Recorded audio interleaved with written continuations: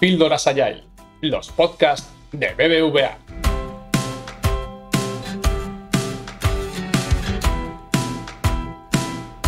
Hola, somos Marta Galdón y Juan Antonio Ochoa y somos Agile Coaches en la disciplina Agile España de BBVA.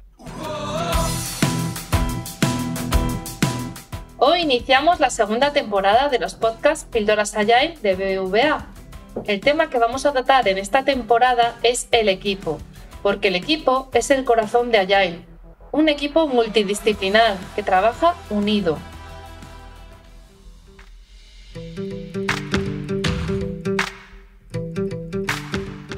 Como la temporada va de equipo, te empiezo preguntando, Juan Antonio, ¿qué es un equipo?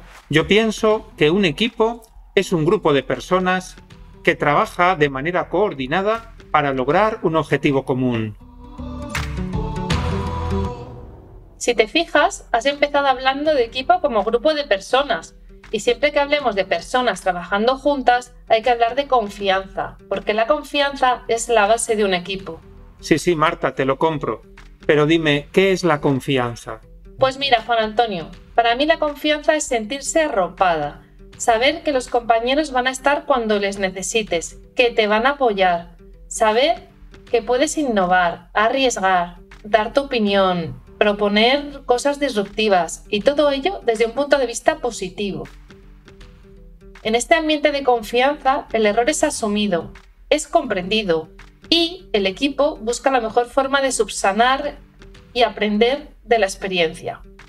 Juan Antonio, entonces, ¿Cómo podemos generar más confianza entre las personas del equipo? Buena pregunta, generar confianza. Hmm. En mi opinión, lo primero es conocernos. Dedicar tiempo, el tiempo que haga falta para conocer a las personas, para saber más de las personas del equipo, para saber qué bromas puedo gastar y qué comentarios van a molestar, para saber hasta dónde puedo llegar y qué líneas rojas no debo traspasar. Porque conocer a una persona nos lleva a entender a la persona, a comprenderla. Y así, conociéndonos, es como se genera confianza en un equipo. El techo de un equipo es el techo de su confianza. Marta, ¿añadirías algo más? Añadiría ganar confianza. Para crecer en confianza, además de conocernos, en el equipo es necesario un espíritu de colaboración y de respeto. Vamos a compartir nuestras experiencias, nuestros conocimientos, nuestro saber hacer. Vamos a ser transparentes y a colaborar los unos con los otros. Cuando hay éxitos, los éxitos son del equipo. Cuando algo falla, falla el equipo. Si pensamos así, si actuamos así, vamos por buen camino.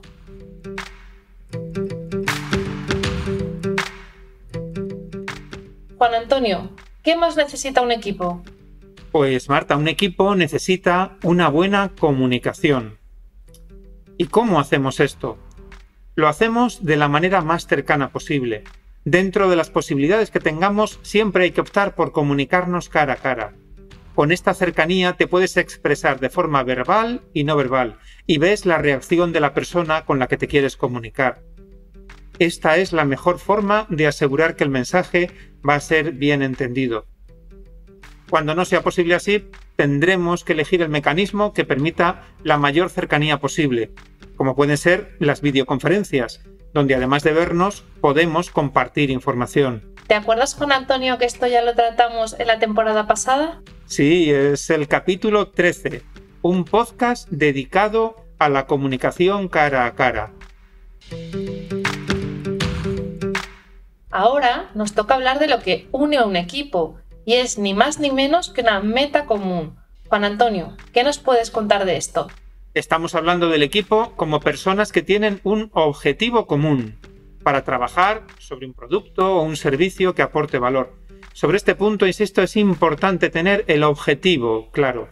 El objetivo, ¿qué queremos conseguir? ¿Por qué? Y el para qué lo hacemos. Y tener una visión compartida. Marta, ¿cómo tienen que ser los objetivos? En Agile los objetivos necesitan tener siempre una finalidad, un propósito que aporte valor, tienen que ser específicos, entendidos y compartidos por todo el equipo. Y muy importante, se tienen que poder medir. Un objetivo Agile debe ser SMART, específico, medible, alcanzable, realista y la T de acotado en el tiempo. Como conclusión, los objetivos tienen que ser claros para todo el mundo.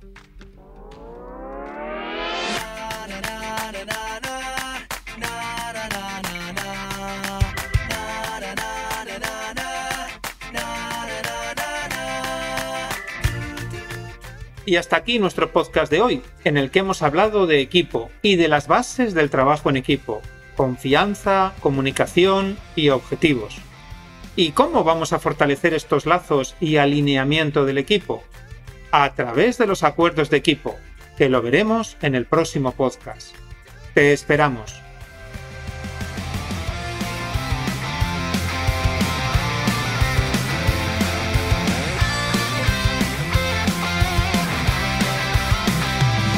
Y como siempre decimos los coaches de la disciplina Agile España de BBVA, Todas y todos somos parte del cambio. Todas y todos somos parte del cambio. Recuerda que puedes suscribirte a todos los podcasts de BBVA en iVoox, Apple Podcasts, Spotify y Google Podcasts. Además de seguir toda nuestra actualidad en bbva.com. Y si quieres, puedes también contactarnos a través del correo electrónico bbvapodcast.bbva.com para darnos tu feedback y enviarnos tus sugerencias y opiniones acerca de los podcasts Píldoras Agile.